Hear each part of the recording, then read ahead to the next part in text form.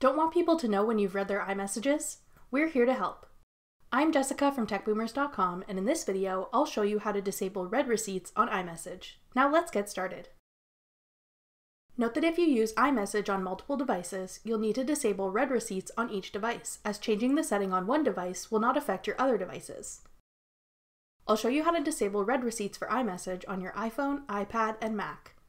See the corresponding chapter for each device to skip forward to instructions for a specific device if you like. Let's start with the instructions for iPhone.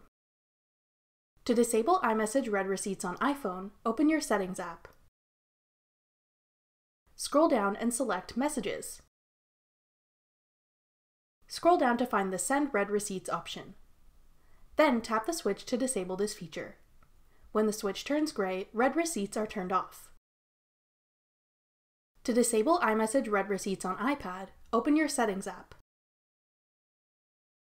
On the left, scroll down and select Messages. Then tap the switch labeled Send Read Receipts to disable this feature. When the switch turns gray, read receipts are turned off.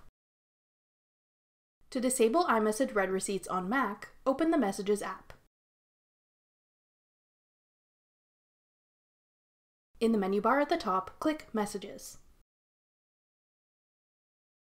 Now select Preferences.